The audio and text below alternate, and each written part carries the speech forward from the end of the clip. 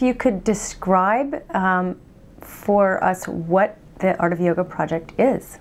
Well, we're a nonprofit, and we go basically we go into county detention centers, three local county detention centers, and we work with the girls that are incarcerated there.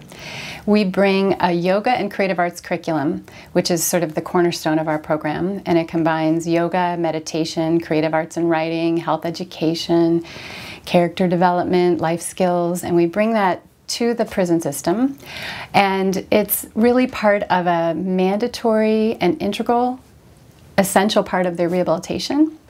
Um, so what I mean when I say mandatory, it's not an after-school thing, and it's integral, meaning we work directly in collaboration with.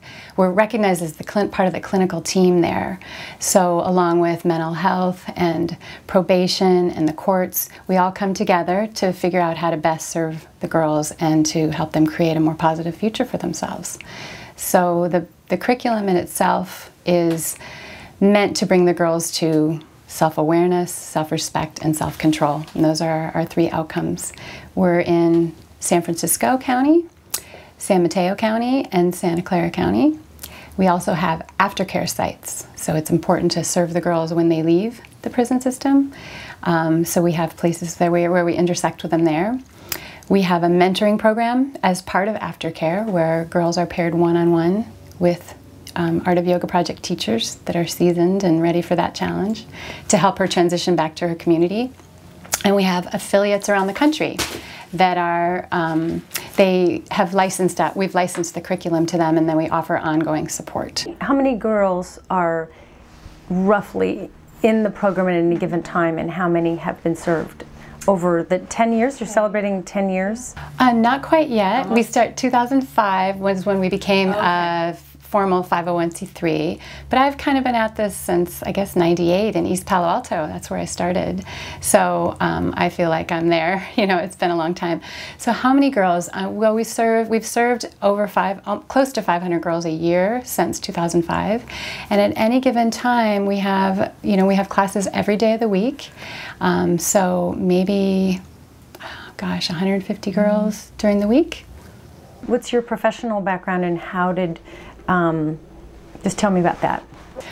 Well, it's been great because all the pieces of my life have come together with the Art of Yoga project. So I, I was a neuroscience nurse, an RN, and worked at UCSF, and then went on to become a family nurse practitioner, um, and really wanted to, with that role, wanted to work more directly with patients, and I got my master's at, U, at UCSF as well, and worked primarily in women's health.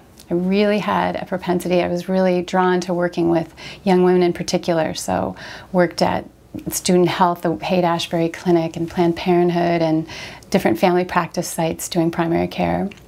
And uh, so professionally I was doing that. And that is really where the work kind of started in that I would see a lot of young women come to me with um, many of the issues that we see the girls in the juvenile hall have what's like co what we call them co-occurring disorders so along with their crime so we would see girls that have i would see them with anxiety and depression and eating disorders and you know, what we called regrettable sex, or sort of the morning after, and you know, why did I do this, and STDs, the pregnancy, all of these issues. And I really saw this sort of self-loathing that came along with it, and uh, it it touched me. I thought, you know, this why this incredible person, these these young women in the best part of their lives, and they have very little self-worth and that then I felt that their conditions came out of that. And at that time I had started my own journey with um, a serious study of yoga and practice of meditation. Where did that come from? Where what were the seeds of uh, that? Long journey with that. Um, you know, had some coming of age struggles in my life and um, different family dysfunction like almost everyone right? And really started i was i guess i was a seeker you know at some point in my life i started realizing that i got a little lost along the way. So as a young girl i was really creative and wrote poems and songs and you know you hear this about young girls and then they hit adolescence and puberty and they lose their voice. And that definitely happened to me. And um, you know, made some poor decisions, some things happened to me, and I came around and, and intuitively started looking for solutions for myself and got some psychotherapy and started doing martial arts and all kinds of things. Um, but what really worked was the yoga practice for me. Was yeah. yoga actually for you one of the, the sort of tools and practices that, that helped you turn back Absolutely. onto your path? Absolutely. It was very profound for me in that I would get on my yoga mat and I would I literally went through this process of sort of coming home to myself. You know, I would get on that mat and I became acutely aware of my thoughts for the first time in my life. So that self-awareness and the thoughts that I saw there were not very nice. And that, so I had some grieving about that, and then I set about to turn them around. Um, and then along with that, I was, I returned to the creative, the, for me, self-reflective writing, and brought those things together. And because they were so profound for me in my own healing and empowerment, I really wanted to bring that to the girls that I interfaced with in my clinical practice. How old were you when you discovered yoga? And kind of reconnected so. with your creative self? Thank you. That was my mid 20s. I'd say my mid 20s. So I've been at it over 20 years now. You know? Most of the most of the young women that you're working with are are younger than that. They are, or and so I wanted, yeah, I wanted girls to have it as soon as they can, you know, so that they would hopefully not have, you know, not go through some some of the struggles. Mm. That was sort of where this all started. Like, oh, if they could do this sooner, then they might be happier sooner because I'm so happy now. And I became happy and didn't know that I wasn't. Um, so the girls that we work with are um, unfortunately very young, between 12 and 17 years old. Um, average age in the juvenile system is 14, 15. It's, you can't believe it. You look at them and you think, what happened? I know that, that you are working on metrics for figuring out how effective what you're doing is. Mm -hmm. So I wonder if you can just share a little bit about that and also, and I don't know if these are related, but that the science is kind of catching up with um, what you have known and others have known you intuitively. So I'm curious about how those two things might come together, how the, how the, what the data is saying. Let's see, our own outcomes I think are really important because we could borrow data from the literature about how yoga can help kids learn and focus and help with attention deficit and things they've studied in kids in school and all that's really powerful, powerful and you, you see more and more schools doing that.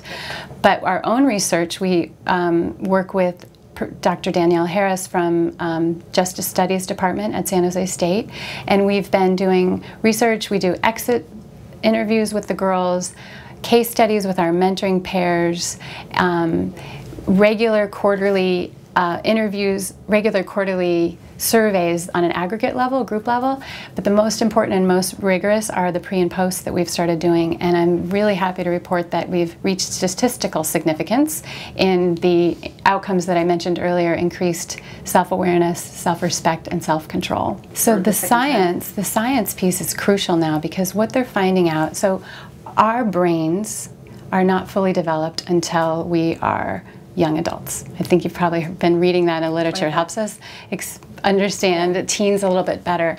So for these girls who have had significant histories of trauma, there are areas in the brain that are involved in self-regulation and personality development that are significantly impaired. And the som somatosensory activities like yoga, meditation, and expressive arts work to heal those areas so that their brain becomes more regulated. And that's what's showing up in the literature now. So the best way to explain that, I think, is that um, when we're in stress, you know, when you're something happens, a car accident or something, we are really in our lower brain reactive centers. This is our brainstem. And you've heard people say, I didn't think, I just did it.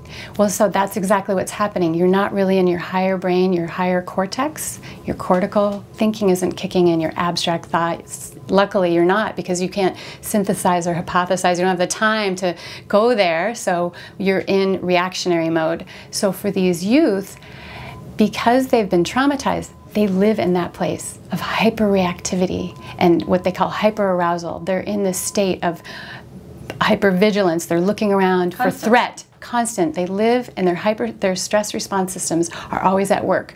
So they're not engaged in their thinking. And that is why they make poor choices.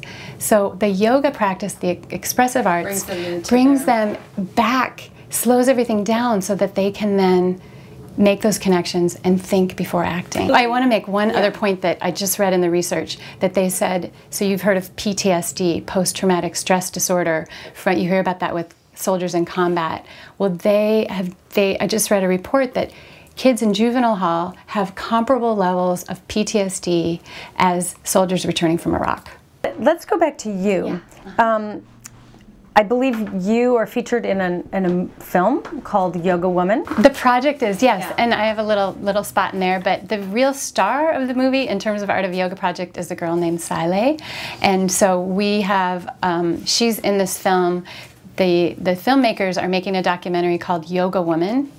Um, they've made it and it's premiering all over the world and it's very exciting annette bening is narrating it and she so she narrates this film and this girl Sile is followed in the film from her when we were working with her in prison and then when she's out and then i guess six months later and she's doing very well and going to nursing school and it's really exciting for us to, to have that um, and that's showing on may 10th right here in downtown palo alto at the aquarius theater so we'll be telling the world about that and getting folks there So you haven't talked much about the art part of things. About um, so just briefly, it sounds like there's writing, improvisation, and, and how, how does that fit in? And, and how does that fit in for one for you? If you can tie back to to what that did for you. Well, I think um, thinking the part. expressive arts is important because it really, um, for these girls, it it helps them process their traumas. It it also provides a really important alternative and healthy alternative to self-destructive behaviors,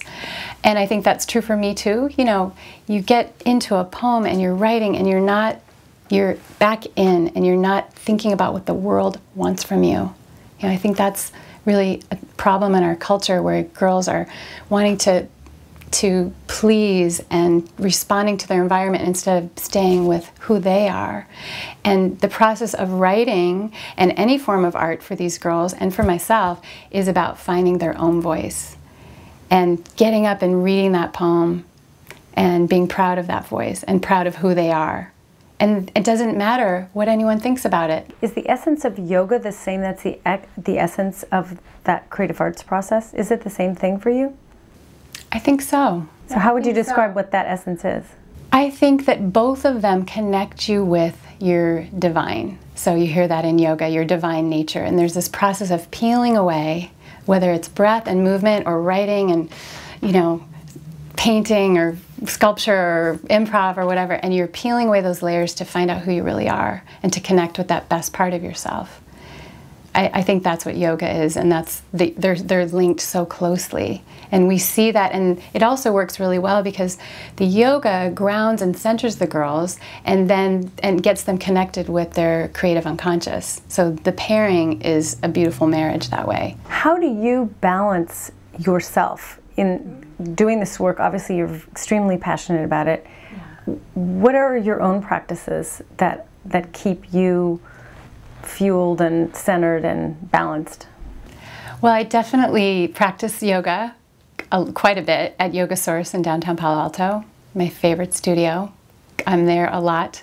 Um, so I do that three days a week. And as I've gotten older, really the frontier for me is the meditation realm and some of the breathing techniques. So I was using them before this interview, you know, um, and that's sort of a place that to be still is a little is harder for me than to be active and getting strong and moving and that's really important to discharge stress but i think the meditation is the place that i really find answers you know they come Any, anything else in your in your um, kind of in your life that comes to mind that you wish people understood? You know, I think again with this work, what comes back, where it comes, it, that's really what's on the forefront of my brain is this work, and I really want people to know that these girls need us, and they've sort of been forgotten in a way or given up on in some realms, and I think that we we need to care for them and we need to stop this cycle um, of, vi of violence and victimization. We have to do all that we can to stop that cycle because these girls are getting pregnant. They're pregnant. We see them pregnant. So if they don't learn how to stand up for themselves, they are going to then pass that down, and then you have intergenerational trauma.